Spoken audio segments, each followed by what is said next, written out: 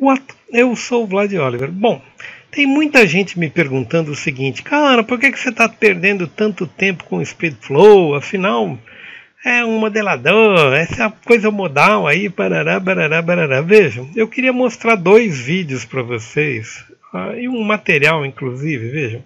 Isso aqui é da Gumroad. É um mostrar para vocês, vejam, isso aqui foi produzido com o Speedflow, ok? E é bem característico do Speedflow a gente fazer esse tipo de modelagem. Vejam, cheio de. Ok? Vou dar um Z aqui para vocês verem. Então, isto aqui é um trabalho com acabamento de Speedflow. Ok? Bom, o Speedflow é uma coisa. A outra coisa, vamos dar um file é, Open Recent, vamos voltar para minha station, que é onde eu estava ok? É, o que eu pretendo fazer? Na verdade, eu pretendo fazer, antes de mostrar para vocês, vejam, isso aqui é um, é um tutorial de Hard Ops, ou de Bat, Bat Ops, ok? Vejam que nosso amigo está mostrando como é que faz os primeiros cortes e resulta nisso aqui, ok? Vejam só que realmente isso aqui se faz através da duplicação do array ok? Ele mostra alguns objetos separados. Nós estamos no HardOps. O HardOps faz a mesma coisa que o SpeedFlow, ok? Isto aqui que vocês podem ver, ok? É a minha é a minha aposta, na verdade, para a gente poder fazer alguma coisa interessante aqui. Bom, eu mostrei para vocês que eu tenho mirror aqui, array mirror. O meu mirror, eu vou aplicá-lo pegando aqui o o meu object empty aqui, eu fiz isso no vídeo anterior, ok? E o que eu queria fazer para vocês entenderem aqui é que eu vou sair daqui, começar a modelar, vejam, e é, ele vai para um lado só mesmo, ok? Isso aqui não é nada normal, aqui e também, puxa, eu, inclusive eu posso juntar o meu objeto isso aqui é muito interessante do bom, ok? Eu não sei exatamente.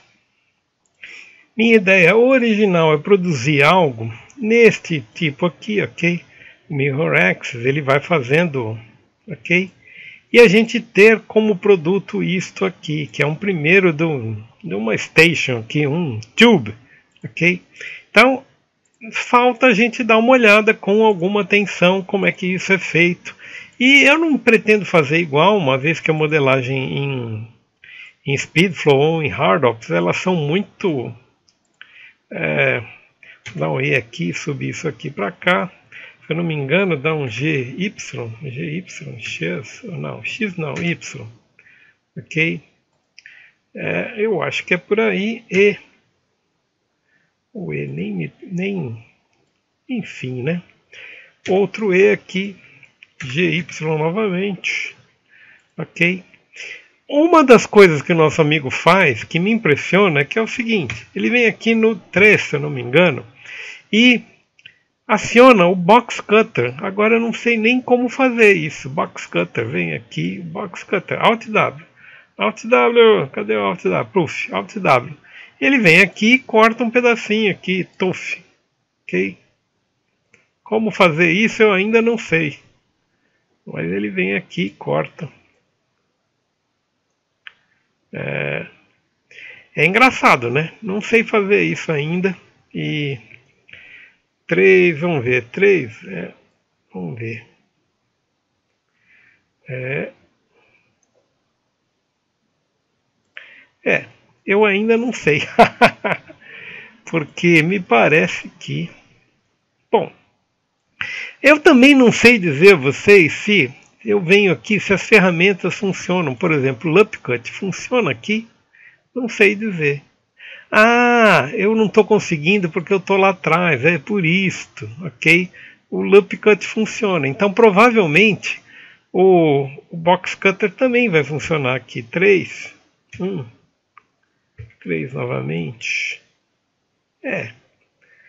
é Acho que se eu tivesse aplicado, veja, como é que eu faço para aplicar o box cutter? Vou tentar, hein? Eu venho aqui, Alt W, clica no operador, clica no lugar e desenha o quadrado. Aí, este é o problema, ele vai direto, ele não me permite, se eu venho aqui, Object Mode, estou tendo dificuldade de fazer, zero, é, três, ele vira tudo aqui, deixa eu ver, agora ele deve fazer, aham, agora fez, como vocês podem ver, eu estou conseguindo cortar meu objeto, ok? É interessante, ok? Bom, uma das coisas que a gente perde, na verdade, eu não sei aonde eu estou. Acho que eu tenho que estar em Object Edit Mode. Veja, voltou o objeto aqui. Enfim, o que eu estou tentando é fazer pela primeira vez cortes aqui, ok? Vamos clicar aqui. Não, não quero mais esses cortes. Vem para cá. É, TUF G. Não. E aqui. E agora F. Não. É, agora eu casto, tá? G. Sim, eu subo aqui e G, pronto. E até junto aqui as duas coisas. Aham. Não é, não é todo mal. G, G, V. É. Vejam que é interessante a forma de fazer. Bom, isso aqui está meio torto, como vocês já perceberam. Eu fiz de qualquer jeito. A minha intenção era só GY. Se eu venho aqui. G. É. Minha intenção era só começar o trabalho aqui. Como vocês veem, está torto, não importa. Ok? E a gente ir fazendo as coisas que. Já não. E Ponto. F. É interessante isso aqui, ok?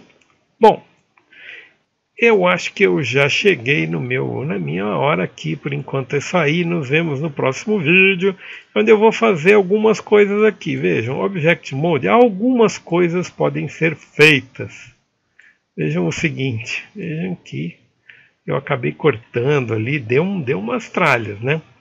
Lembrem-se do empty. Vou mover o empty, vamos ver o que inferno vai acontecer. Neste caso, é, o que está acontecendo é que eu estou alterando tudo que eu fiz depois da minha pilha no empty, ok? Esta é a primeira coisa. E a segunda é, se eu clico aqui no objeto aqui e vou na minha pilha, vou no array, por exemplo. O array eu posso é, continuar, ok? Ou então é, chef, vamos aumentar isso aqui.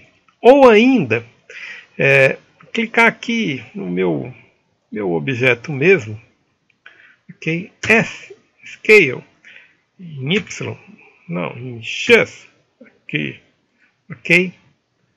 Vejam que array, cadê o array aqui? X, vou diminuir o X aqui e a gente tem algo mais algo mais com cara daquele daquele projetinho aqui que nosso amigo está fazendo, ok? Bom, eu vou fazer um ajuste mais ordenado aqui para a gente ter um troço mais parecido com isso, para a gente testar os modificadores, Bivel, etc, etc. Mas vocês já entenderam basicamente qual é o recurso, como é que é o que funciona o troço, ok? Não vai ser muito diferente disso. Se eu vier aqui, Edit Mode, vamos clicar por exemplo, nisto aqui, puff, neste objeto e neste aqui, por exemplo, só nesses dois. Se eu vier aqui e der um bivel, se eu não me engano, é o primeiro bivel que eu estou dando, portanto ele só vai dar, só vai fa fazer arredondamento nesses pontos que eu defini. ok? Se eu não me engano, se eu der um tab aqui, não, é bivel, se eu der um tab, um tab para clicar em outro lugar, vamos ver se ele faz isso aqui. É, é, cadê você? Não, eu acho que para mudar o modificador Bivel mesmo, eu tenho que dar um Shift Alt. Veja, é isso aqui. Neste caso eu estou dando em tudo, ok? Mas no Edit Mode vou dar um.